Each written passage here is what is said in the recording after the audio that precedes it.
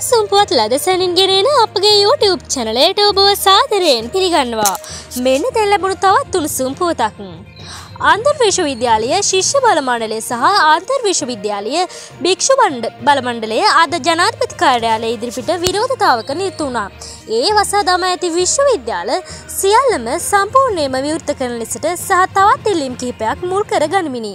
එහිදී ජනාධිපති කාර්යාලයේ නිලධාරියෙකු සමග විරෝධතාකරුවන් පස් දෙනෙකුට සාකච්ඡාවක් හිමි වුණා. මෙවැනි උණුසුම් පුවත් ලදසනින් දැන ගැනීමට අපගේ YouTube චැනලේ සබස්ක්‍රයිබ් කර බෙල් අයිකනේ ක්‍රියාත්මක කරන්න.